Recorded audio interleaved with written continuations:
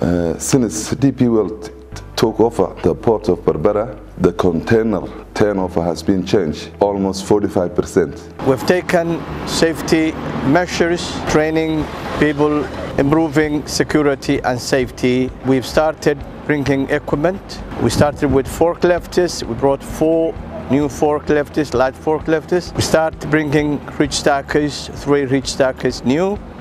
We also start bringing ITVs, and which we have brought 10 ITVs.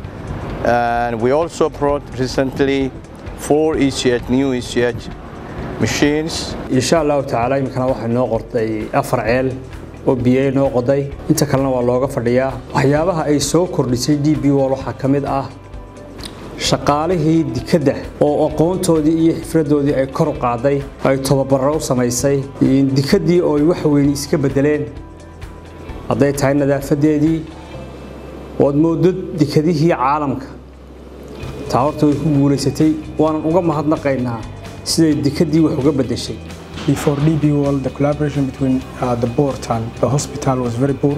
But after the collaboration between DB World and Berber Hospital, we had a long discussion regarding the improvement of hospital. So DP has agreed to contribute their employees to have a full medical checkup, more than 700 people. It was the first time that we had such a number and it was really uh, successful.